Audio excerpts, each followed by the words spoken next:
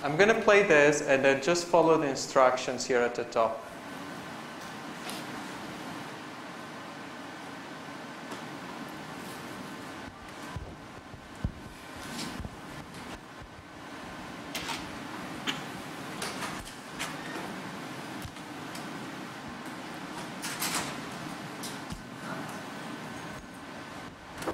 Okay, so which changes did you um, perceive? Color of the door. Color of the doors. Patisserie. Pardon? Patisserie, there was something written on the. Oh yeah, the, the sign, the patisserie uh, sign change. What else changed? And this is for everyone, 340. The railing disappeared. The what? The railing disappeared the. The railing disappeared. So in particular, there was, this railing is disappeared, this sign is different. The building on the right. How many people think that this building on the right is completely different than the initial building? Yeah, the 340 people. um, how many people think there was a dog here in front of this door? Okay, the 340 people. There wasn't. I was just tricking you. There's a person there. This was the original image. So as you can see, the building wasn't pink. It was a different building. There were windows on top instead of doors. The rail was complete. There were people. There was a patisserie uh, uh, sign. And that all changed in front of your eyes. And most of you were completely oblivious to most of these changes. I'm going to restart it and play it one more time um, just to illustrate the point that even if you know um, that these changes are taking place, you will yet again not be able to see them all. You will see some, but you won't see them all. And it's because your eye does not see the world. You don't have the world in your head. Your head is too small. Doesn't, the world cannot fill it in. Um, so what you do is your, your eye moves and gazes at the world about three times a second. And then you compose with those gazes an image of what the world is about. And most of what you see is actually imagined. And imagination plays a big part in this course. This course, to a large extent, is about imagination. Um, if you can imagine the world, um, that means that you have learned what the world is about. The videos also illustrate an important thing, uh, and it's that if you wanted to program a machine that sees, we are confronting a serious problem here because we think we know how we see and what we see, and yet I've just proven to you that that notion is actually wrong. That we actually don't know how we see. And now, if we do not know how we see, how can we code in C or Python or MATLAB um, and tell a machine to see things? It becomes extremely hard because we can't introspect. And if we can't introspect, it's very hard to replicate a brain.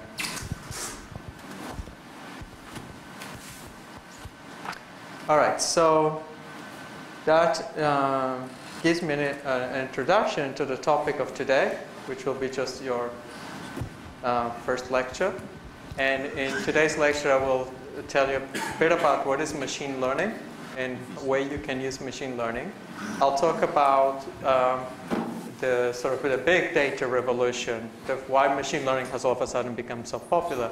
Um, and it has to do with the fact that we now have access um, to you know, gazillions of data and computing power to process that data. Um, I'll talk about uh, a part of the course, something that's going to be a big part of the course, uh, neural systems, and how we draw inspiration from biological systems in order to build learning machines. Um, and finally, I'll just touch on a few applications which hopefully will start already giving you some motivation for what um, to do for your projects.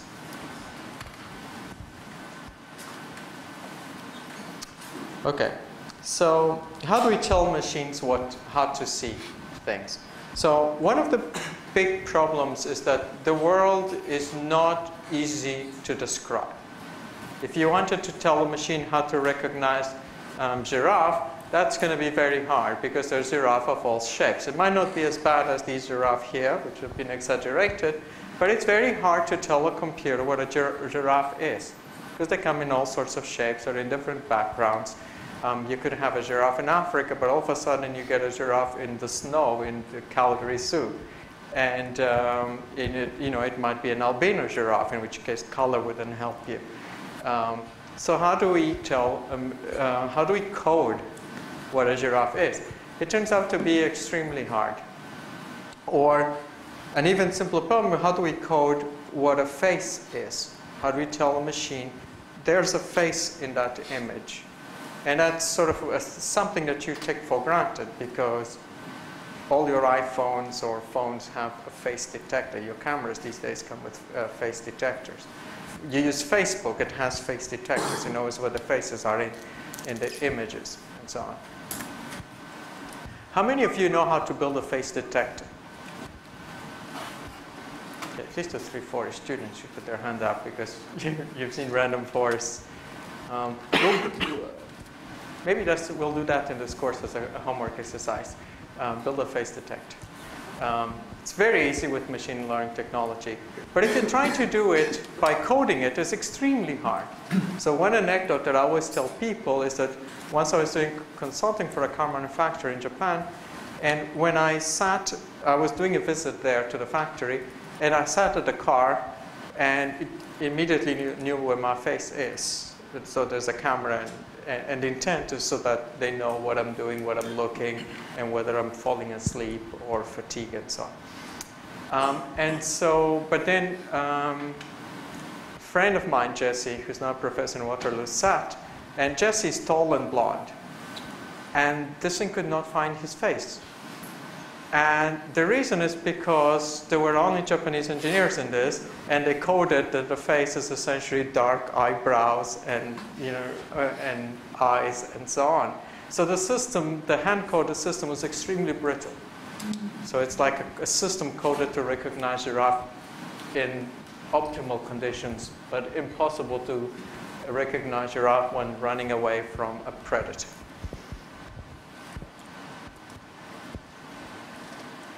The machine learning solution is collect a large collection of face images. These will be from all sorts of different types of people and populations and so on. And then come up with a very simple algorithm that will allow you to detect face. So you can't tell a machine how to, you can't write a program that will tell machines exactly what a face is, but you can code a program that will tell, explain to machines, these are faces, these are not faces, and then let the machine automatically learn what it is that differentiates a face from a non-face. And that's the machine learning approach. It's based on examples as opposed to we telling the rules. We let the machines figure out which are the things, which are the features, we call them features or patterns or statistics, that make a face different than any other image. Okay? So the first part is to collect that huge collection of images of faces. You then collect a big data set of non-faces, and the result is this.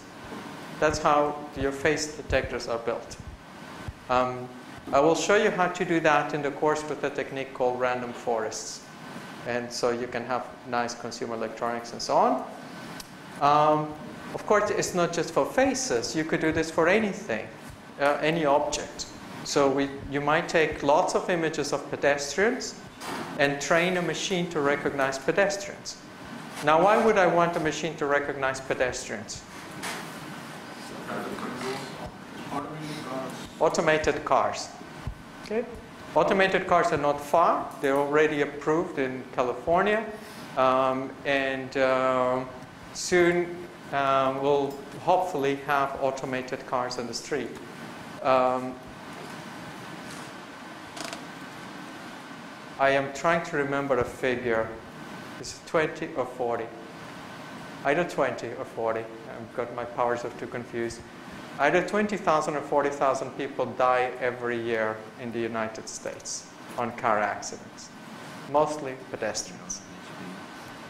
Um, to put this in the importance of this project in, um, in context, imagine the population of UBC dissipating every year.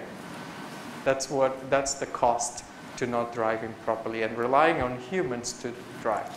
In India, when I checked a couple years ago when I was visiting, um, it was 113,000 people die per year, which may or may not be bad depending on how you count. Now, um, actually, it is bad regardless of how you count. 113,000 lives is a um, huge number of people. So, same idea. um, you teach a machine, here's a bunch of images, in this case, images of cars, and then again, commercial systems these days like Mobileye already are able to detect lanes, detect cars, and so on. So, but the key to all these huge innovations, to be able to have an automatic, because without these innovations, it wouldn't be possible at all to have an automatic car. Because how could you deploy a car that can't see a, and understand what a pedestrian is in front of it? Um, it that would be like murder. Um, the key to it was to come up with this realization that we could teach machines with data. So this course indeed will be about how to write the programs that let machines grab data and decide what a face is and, and or what a pedestrian is and so on. Um, now, there's other learning machines out there, and those learning machines are humans. Humans are very good. In fact, not just humans, all animals are very good learners. Um, humans are particularly good. Um, and I'm about to now test how good humans are at learning with this example. Um, so I have highlighted here, I have a bunch of images of objects, which are, three of them I'm calling tufas. Okay, and I've labeled them by putting a red box around them. So now the question to you guys is how many of you think this one here that I'm pointing with the arrow is a tufa? Okay, the majority. How many of you think this is a tufa? How about this one? Lots of skeptics here. How about this? Is that a tufa? This one? Let's uh, go to an interesting example. This one here. Okay, no, not as many people.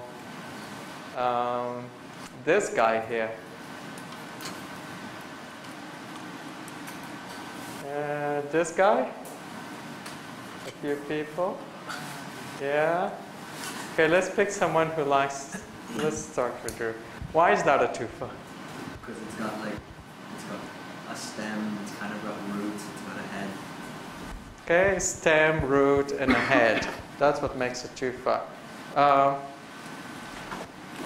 who else would like to comment of why they said something is a tufa or not? So this, the thing at the top, there's a stem, there's a long branch, a stem, and there are roots which are sort of several roots, several small things. It's hard to describe, but somehow you know because you very confidently put your hand up or kept your hands down. So even though you couldn't describe it, you could say that that was a tufa or not a tufa. Did, do you know what a tufa is? Those three things. Anyone else? So this illustrates several things. One is how quickly you learn what a tufa is. You've never seen a tufa before, maybe you did if you took 340, but you very quickly learn what a tufa is from very few examples. Um, not all of you have the same opinion on what a tufa is, that's why I asked several questions. Um, so it's somewhat subjective, but there is nonetheless strong agreement. Um, and then there are features that make a tufa be a tufa, whether it's a long stem or the legs or the hairy head. Um, but by and large, we're not thinking even of those features when we extract them consciously. It's done subconsciously. A lot of the feature extraction and interpretation of the world is done through the subconscious. The subconscious is very powerful, um, perhaps more than the conscious. Um, we would like to design machines that are capable of doing this, that can see a few examples of data, and just from a few examples can very quickly um, learn new concepts. Um, machines are capable of making these induction um, leaps, as Josh Tenenbaum calls them. Okay. So machine learning is about being able to extract the features or the patterns or the statistics, the things that makes us tell what a tufa is. And once you have those features, and you might not do this consciously, we humans don't do this consciously, and that's why it's hard to code, to try to code things by hand, and instead we have to rely on machines.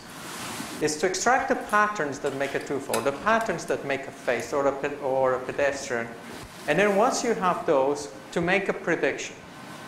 Where a prediction could be like a decision, deciding whether something is a face or not a face, whether something is a tufa or not a face, or a prediction of a different nature, as in, is this thing going to eat me?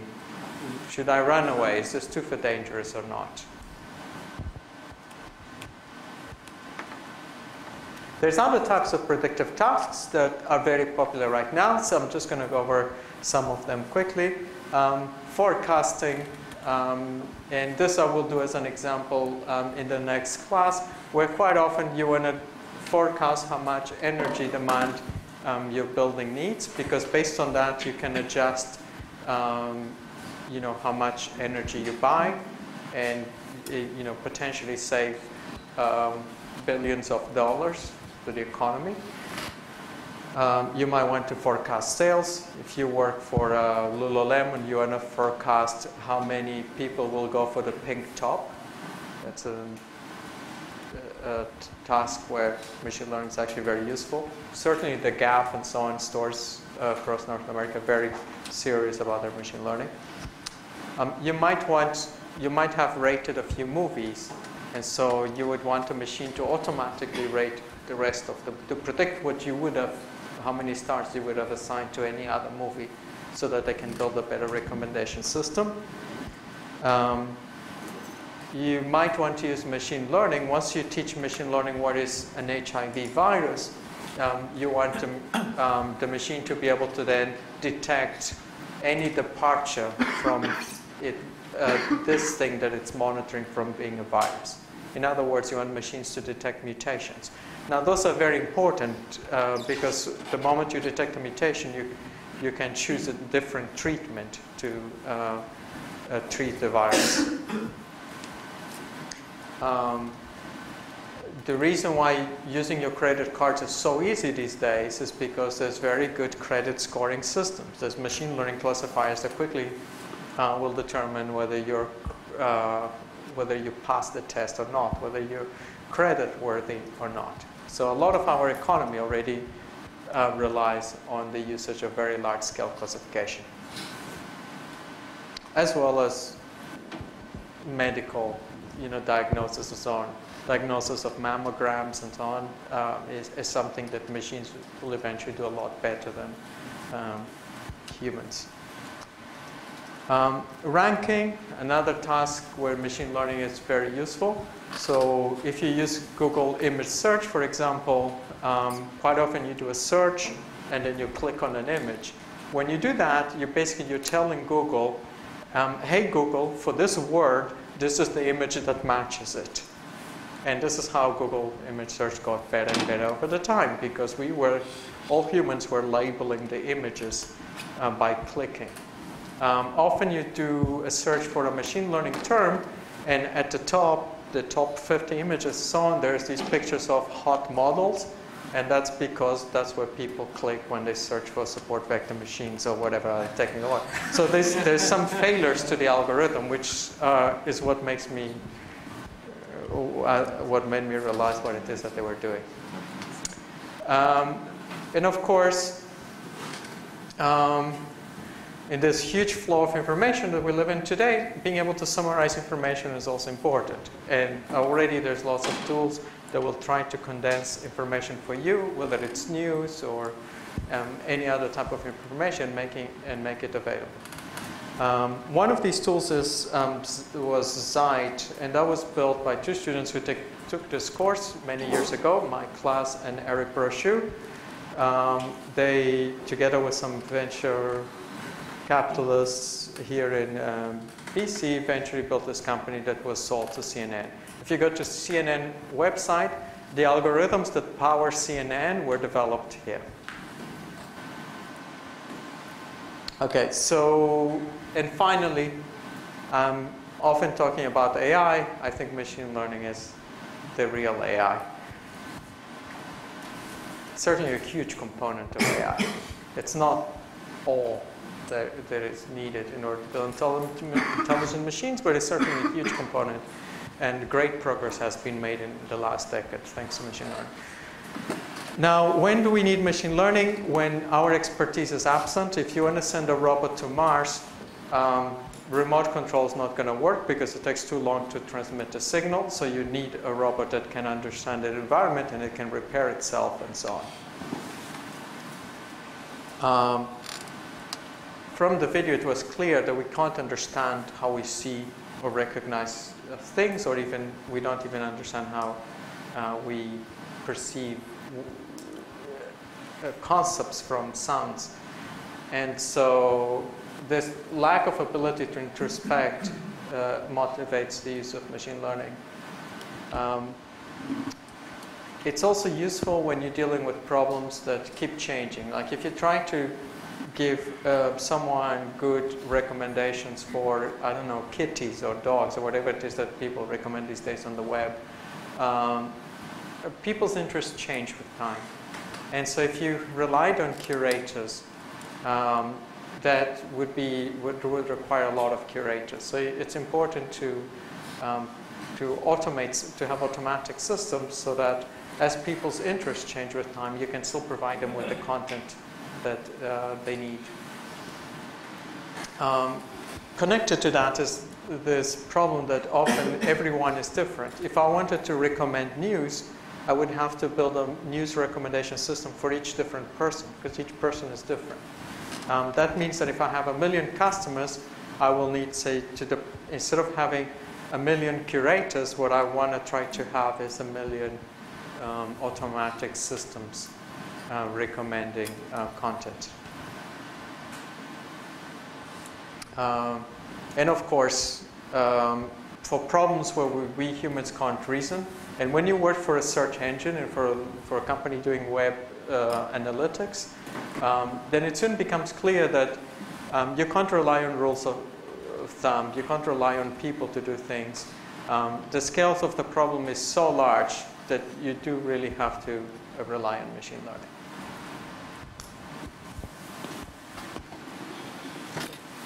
Now, data. Um, data has increased a lot over the last few years. Um, in, um, as Lon Halevy, Peter Norvig, and Fernando Pereira, researchers at Google, um, some of the leading researchers on language at Google, um, point out in a paper um, in 2009, in 1967, 1 million words was considered a large data set. In 2006, um, I don't even know what that number is. Um, trillion, is it? Um, date, word data set is what was regarded a large data set in academia. Okay, so there's been huge orders of magnitude uh, increase on the data sets that you guys are capable of actually managing in your personal computers. And then if you go to Amazon EC2 and so on, it gets even more fun. What were the success stories of language over the last few years? Technological successes. Watson. Pardon? Watson. Watson. Jeopardy. Cute success story. success stories as and that they've actually created revenue for a lot of people and solved people's problems. Google Translate. But Watson is a good one. Google Translate. That's a brilliant one because um, my wife can be at Aritzia doing her job and she needs textiles from India and she needs someone to weave those textiles in China and she's sending emails to all these people in India and China um, who might be speaking Hindi, who might be speaking Mandarin, and they're all able to communicate because they're all using Google Translate. So it completely revolutionizes um, e-commerce because now the world becomes a smaller place. You don't even need to all speak the same language in order to communicate. Occasionally there's some problems with that, but um, that's pretty much how people do things. Even in small companies in Vancouver, this is how um, corporations are able to um, engage in global business uh, with their products. Uh, what's another example? Apple marketed it heavily. Siri, speech recognition. So speech recognition, Siri, and so-so. Um, mainly partly because we're in Canada. But um, Google speech recognition works extremely well. I don't know if you've tried it recently. If you haven't, do try Google rec- speech recognition on mobile phone. The beautiful thing as well is that every time you get it right or wrong, you provide feedback for Google to get better. So I, am assuming that speech recognition is one of those problems that will be solved um, soon. Um, how? Seen a video combines speech recognition and translation by Microsoft. Pardon? Something like real-time translate human speaking uh, into another language and Oh yeah, you, you can even do both of those. So eventually we'll be able to speak. It'll be like, um, yeah, like science fiction. Where we there, can there was a video, maybe a TED talk about that. I wouldn't be surprised. So in terms of speech recognition using deep nets, um, something I'm going to come to later in the course. There's two teams doing it. The first team that started it was actually Microsoft, and then Google got started um, on it. And so they're using slightly the same uh, sort of infrastructure to build their technology. Common thing among all these is that there's lots of data. There's lots of data in two languages, and there's um, lots of, in other words, in matched data. So this is the text in French, and this is the translation. Um, and the same for speech recognition. People created these da- huge data sets. Moreover, the data sets keep getting larger by the minute because where companies like Google and Microsoft and so on have been brilliant is that they give you a service and if you don't like the translation, they allow you to correct it. And now because of that, they, you're always providing data for these companies to get better at providing their products. So they're harnessing the crowds. Uh, now, for a lot of these applications, you do need a lot of data. Um, a lot of data is essential. If you're going to do speech recognition, um, really the stumbling block is not even knowing how to build the technology, um, but it's actually having the data to train the technology. Data is the commodity. Um, here's an example to illustrate this point. This is um, by Alyosha Efros at CMU. So he had initially an image that he didn't quite like because it had a house. So what he wanted was, could I remove this house? So you can obviously remove it. And then the question is, if you have a collection of other images from the web, can you use this other collection to fill this in? In a, in a way that will look better than this. If he, he found that if he used a few images, it didn't work. But then when he increased this, he was able to have the machines automatically composing new images that still look very plausible. But for this to happen, you really need a lot of data. Now, coming back to the Google guys, um, they say in their paper that they've solved the problem of how to get people to contribute data. and certainly Facebook and Google have done a great job at this. Um, they've they claim to have solved the technological problem of aggregating and indexing the data. They have done this to some extent, and Google certainly has done a good job. It's still, there's still a lot to be done. Um, but most importantly is the fact that we still have not interpreted the content. Okay, so here's an example citation matching.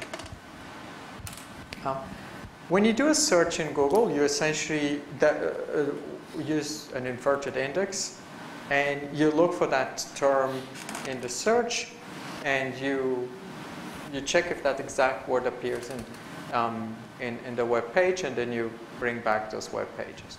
And then there's some ranking that gets done using an algorithm which, if you do the Python exercise in the Python website, that's the, um, that will be a way of you learning to learn how to code a Google search engine.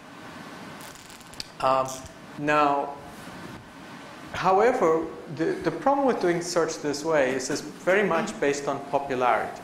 Google is a popularity machine. Now, a counterexample is uh, citation matching.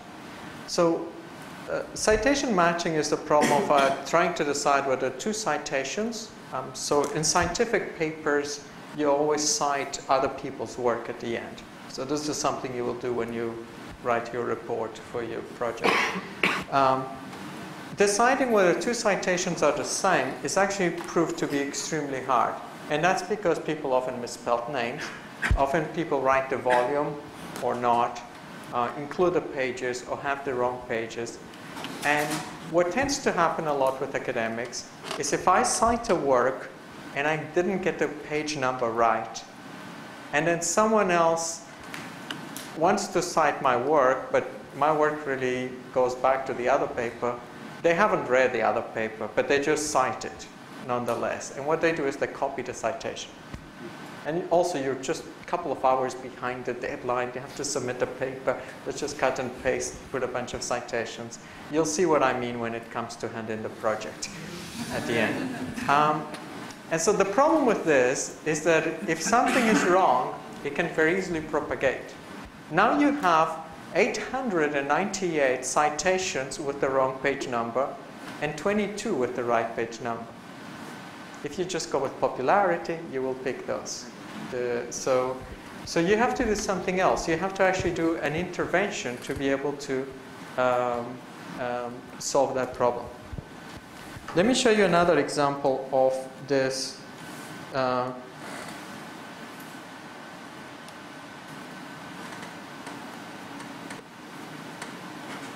this is the issue of information extracting extraction. And, and, I'd, love, I'd love to see a few projects on, on this topic in the course.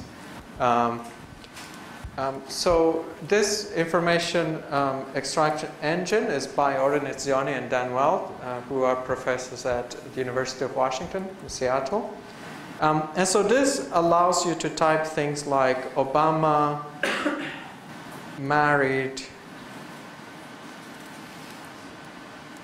And now we're starting to do something a bit more interesting, something with semantic value, not just a query, um, like, you know, not just putting in um, like Obama married and retrieving a bunch of pages that say Obama married, but you actually want to know who married Obama, who or who, who did he marry. And if you do a search, and they do this by extracting triplets of noun, verb, noun from the web. Okay? And so that is what you get. And the numbers I'm imagining is the, the, the frequency.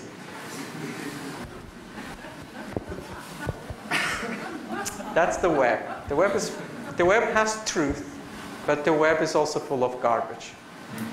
And extracting information reliably from the web, um, just by using counts popularity, is extremely hard. And the only way you can fix this is by intervening and uh, well, there's two ways to go about. Right now, they use a bunch of rules. And this is the best, by the way. This is the cream, what you're looking at here, as to what we can do today. This is the sort of thing that, you know, Google will use um, and so on. Likely. And a lot of companies use Oren Etzioni is a great entrepreneur and uh, sold many companies using this type of technology. Um, if we are to go beyond this, there are two routes. One is to start parameterizing these rules.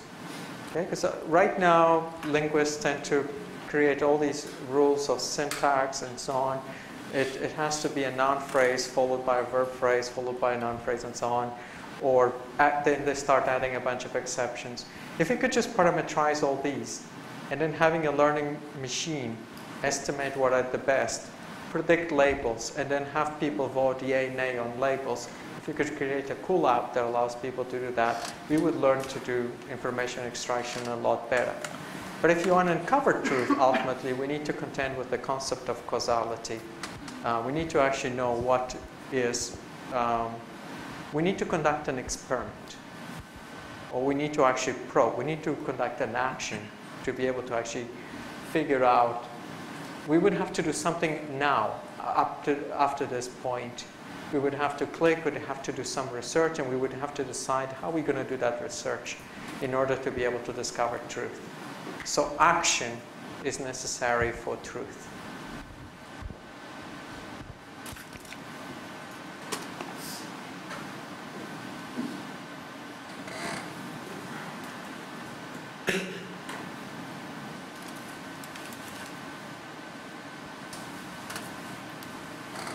That brings me to the next part, which is um, learning is not something that just happens where you have a lot of data and then you learn from it. That's how I did it in 340 for those there. But in 540, we're also going to look at when we actually actively go and seek the data, when we do interventions. Because most systems are not just about um, being flooded with data and doing something as a result, but you actually do interventions in the world. Okay? And most of the data, um, uh, you know, in order to get data, we conduct experiments. I mean, this is uh, pretty much at the heart of uh, the, the, scientific method. If we want to understand something, we need to uh, perform actions. So I'm going to do a bit of causality this year in this course um, because I think it's important. Um, eventually to have true understanding. Okay. Um, the course will also have um, a lot of neural networks, and recently there's been um, a lot of cool stuff happening in an area called deep learning. Um, how many of you saw the Google Frontline deep learning network in the New York Times? One? so machine learning was big in the news. big enough that two people, three people, four, five managed to see it. Uh, it was on the front page of the New York Times. So Google was claiming that they had built this neural network that can look at YouTube videos, and just by doing that, it can learn what a cat is or what a face is, and so on. And so we're going to go carefully over that experiment uh, in this course and we're going to see what is the state of the art in deep learning. Um, but needless to say, there's been um, some really amazing advances uh, over the last uh, three years in this area um, that are bringing us much closer to doing actual general object recognition. The speech recognition that got a lot better over the last at Microsoft and Google. The reason why it got better was because of this deep learning. Um, and so uh, quite a bit of the core, and, and it's all very biologically inspired. And, and so we are going to cover that in the course. It's going to be almost like a third of the course. Um, um, I'm not going to go into neuroscience, um, but I will not be on this little caricature here in front on your screen, uh, which is there's a brain. Um, if you're looking at vision, information, um, there's a visual signal that comes into your eye. Um, again, that visual signal is very tiny and it's dynamic and it's about the size of your, the high resolution bit is the size of your um, thumb, your thumb at, at, this distance. And then the less, the lower resolution about the size of your hand. But you really don't see much. This is really mostly imagined. Um, then there is, um, everything goes via this, these optic nerves to the back of your brain, which is the first part of vision. And try doing this. Try hitting the back of your head. If things go black, there's a reason. That, that's where your vision is. Um, over here with LGN is, there's about a million fibers. Okay, so that starts giving a sort of rough idea of what the resolution of that image is, 1,000 by a 1,000. Um, and then at the back there, there's an area called V1, which is very interesting. Now, I'm going to have to say a few things about that. Now, the brain is a good memory device, um, and it's a predictive device. Um, the way we store things in the brain is in an associative manner. And what I mean by that is, for example, something like that, where there's, um, if you want to retrieve something, when you present a new uh, query, like in this case a plane with clouds, you retrieve a plane. So it understands that there's a plane there. Um, who doesn't mind giving their phone away?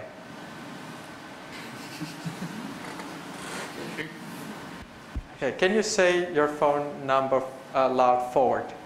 604 44 27182. Can you say it backward? Uh, if I tried hard, 28172444406. Okay, so significantly slower when, you, when he says it backward. And the reason is because you don't really process numbers like a computer does. You don't store numbers like the, you know, with a random access memory or whatever. You, what you've learned is this pattern that you repeat, my, which is 77823911190. It's so easy because it's like this four, you, you store that pattern, which is your phone number. Um, you haven't stored the numbers.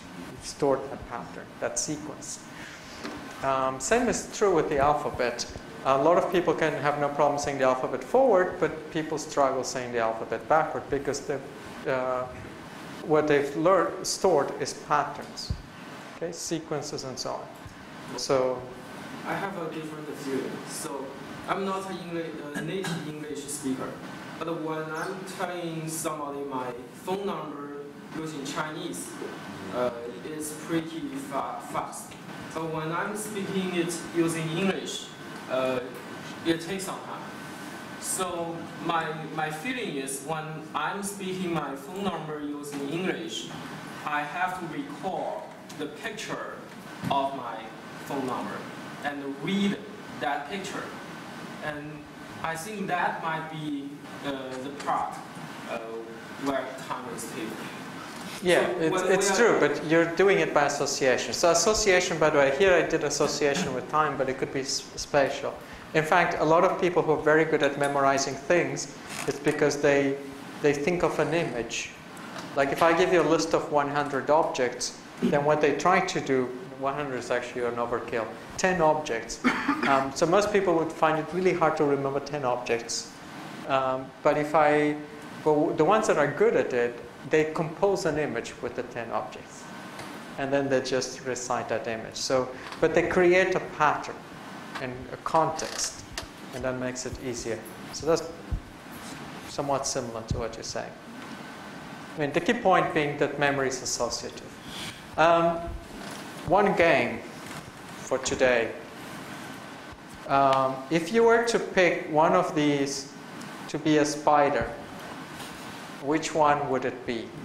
A jumping spider. How many of you have seen a jumping spider? They're all over the place. Um, so, how many people would vote for the, this first guy being a jumping spider? You only get to pick one. So, there's two votes for this one. This one. Zero. Next. Zero. Next. Uh, three votes. Four. Next. Four. Next. One, three. This guy.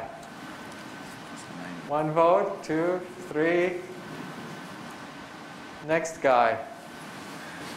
Okay, so that's like what? About 30 people. Okay? Now, if we compare these numbers, so those were images that were shown to a male jumping spider um, to see if that male jumping spider would see this as a female that uh, wants to have, I don't know, spider sex. Um, you never expected I was going to pull this one on you. Um, and the point here that I want to illustrate is that even little animals are not that far from us in terms of their ability to recognize. So spiders are actually able to recognize these um, simple caricatures, drawings. Um, so not just actual images of, that's a jumping spider. Um, and here you see this jumping spider recognizing, can recognize mating behaviors and so on, even when it just watches uh, caricatures and so on. So spiders, al- also these jumping spiders, they're able to recognize 3D depth and so on, which is, is essential to um, travel in the world. So we don't need to get to the high-level brains. I started with the high-level brains, they're showing a human brain, but the very low-level brain of the spider is an extremely sophisticated piece of machinery that we still are struggling to replicate with our own um, electronic devices. And evolution is beautiful. Just like spiders have learned all these amazing um, um, mental traits, uh, recognition, and so on, there's creatures that have evolved, like this moth, that they've evolved to to look like jumping spiders, so that they don't fall prey to them. Um, most of what we see in the world gets encoded in our brain, but even more, the location of things in the world. Like in this case, what we see in red, um, so that's a box, uh, that's square, and there's a rat that moves in the box, and then what we're monitoring is whether a neuron fires or not. And as you can see, there are particular portions at periodic interval in the box where a neuron fires. And that's how you can tell where you are. You close your eyes, you just let that neuron fire, and it tells you where you are. Okay, where you are is encoded in your brain. Now, going back to vision, back to the to this, um, all these fibers get into these first level of cells in V1, and people did the same sort of experiments. They put they put probes uh, on cats at the back of the brain, and then they showed cats these bars as, as shown in the screen vertical bars and horizontal bars and so on. And when you do that, um, the experiment is by Hubel and Wiesel. You can actually see the whole video in YouTube if you Google Hubel and Wiesel. Um, what they found was the following. If, if the bar is vertical, is horizontal, sorry, as shown here in the first drawing, if the bar is horizontal, um, that the neuron doesn't fire. The neuron only fires when the bar is at a particular angle. In this case, this angle is where the neuron starts firing. That means that each of these neurons is basically tuned to vertical, uh, specific lines, lines at different uh, orientation. So all these neurons basically have an edge map of the world because they fire, different neurons will fire for different ages. Now there's many neurons there in V1. Each of the little boxes in this collage is one of those neurons, and each of those will, um, 20 million or so, will be monitoring, uh, checking whether there's a patch here, whether there's a corner there, whether there's an edge here. And it's all those features, not just the eyebrows, but it's these 20 million features when you take compositions of them that allow us to recognize where something's a face or not a face. They're all very basic, and it's but in having these huge compositions, we're able to do all sorts of recognition. So the basic idea, and we will go over this in the course. I'm just at this stage, I'm just like giving you an overview, which hopefully will inspire you to continue. Um, and later in the course, we'll actually look at the details of how we build these. Uh, but the basic idea is that you will have neurons, and, and each neuron is tuned to one particular stimuli. Like in this case, an edge that happens in this part of the image.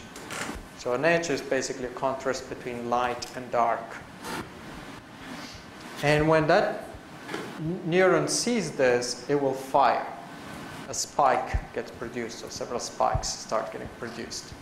um, if a neuron doesn't see this, it doesn't fire. And this is the basis for constructing a neural network. Something that looks at an image, and then where you have 2,000, 2,000 neurons connected to the entire image, and some of these units will fire, some of them will not fire. The implication of this is that we're mapping an image to a code of about 2,000 units. We will see in this course how to learn these, how to learn what are the uh, receptive fields for each neuron. What's, what should each neuron be paying attention to? What edges? So this we will learn for each of these neurons. We will learn, we will learn them automatically from data. And then what researchers have done in, in deep learning is that they then take the output of these neurons and they feed them to a second network where they learn again the parameters of that network and they find that they learn things like this, object parts and so on, when they use images, when they just train it with, say, images of faces. And then further down up here, you have actually entire faces. So all this gets done automatically these days, and that's essentially what Google was doing. Um, Google was taking one of these large networks and was able to just train it and and the way it's trained here will be without supervision. So that's going to be an interesting thing. We're not going to be saying these are images of faces or not images of faces.